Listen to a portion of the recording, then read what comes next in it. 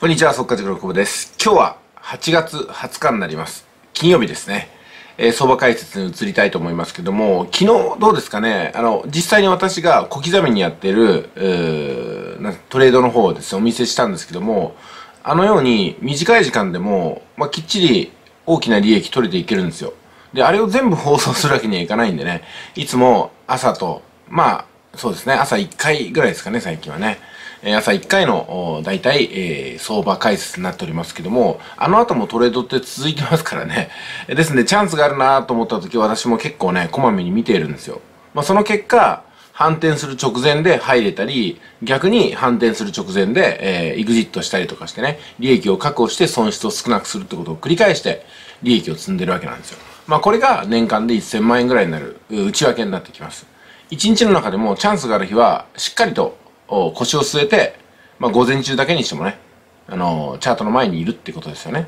うん、まあでもね、お勤めになってる方が急に今日はチャートだけ見ようかなってことはなかなかいかないと思いますんで、うんやっぱりね、あの、ある程度のレンジで見ることになります。ある程度のレンジでどういうことかっていうと、朝1日分の仮説を立てて、その仮説に沿ったあ予約をかけておくとかね。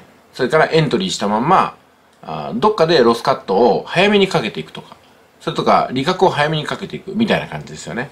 リアルタイムにパチッパチッとできませんから、その辺は利益率は悪くなると思います。ただ、4対6で勝つことはできますので、まずはね、負けがないようにしていく、そのトレーニングだと思って、今の時間をお過ごしいただいて、それから本格的にトレードをやろうかなと思った時っていうのは、やっぱりね、時間の自由を確保するってことになります。それが週に1日でも構いませんので、みっちりと今日はトレードをやる日っていうのを作りながら、その日はできるだけ細かくやるということになりますけども、その細かくやるためのトレーニングをするためにも、日々の1日1回のトレード、1日1回の相場解説、しっかりとご覧いただきたいと思います。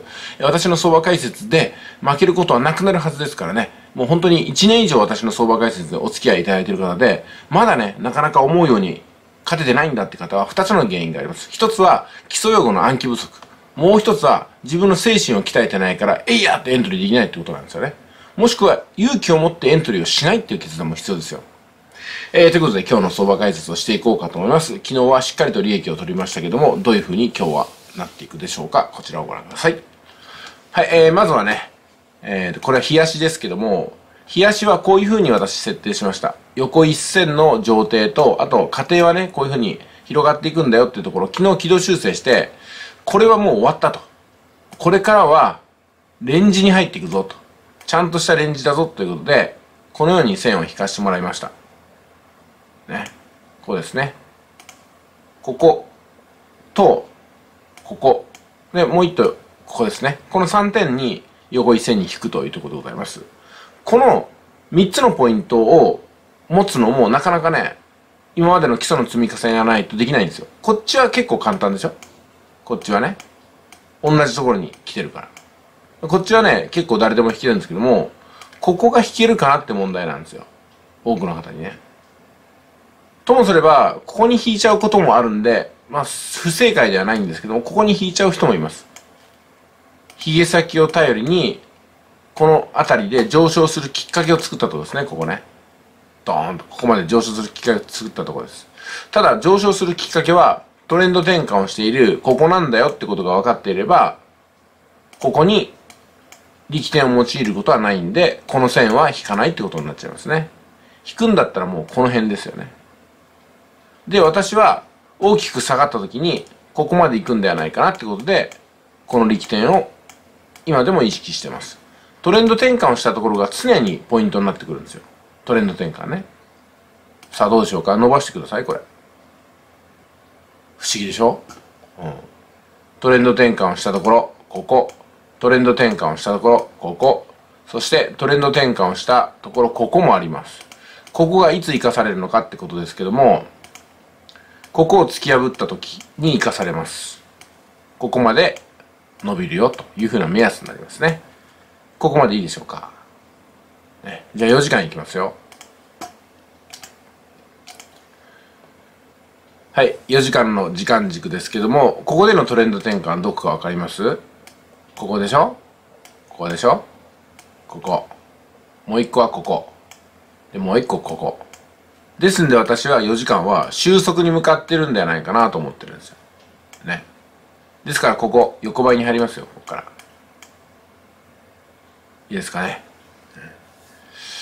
で、全体像を捉えたら、トレードをする基礎の時間軸1時間に行きます。昨日私はどういうふうに考えたかというと、まあ、全体的にはセルの流れなんですけども、瞬間的に倍も入るんですよ。